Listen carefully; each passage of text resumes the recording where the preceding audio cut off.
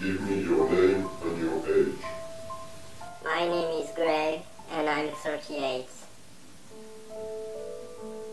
Can you tell me something about hydrofoil? I start hydrofoil or the light wind, but gradually I was doing it all the time. From light to high wind, from 7 to 40 knots. I want to foil every day. Uh, uh, I need to foil, it's, it's like I'm free, it's like, like I'm flying. I, need it. I start losing my job and then my wife left me for my best friend and today I, I had nothing nothing else. We will take care of you. To hope for a complete cure, you will have to trust us. Take your pills and doctors But- will come to see you where am I? later. Is anybody here? Is there someone here?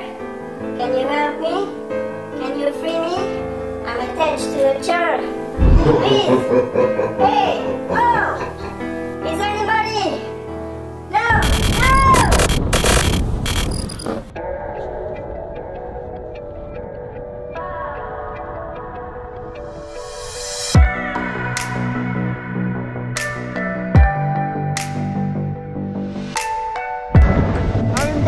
I'm fucking back!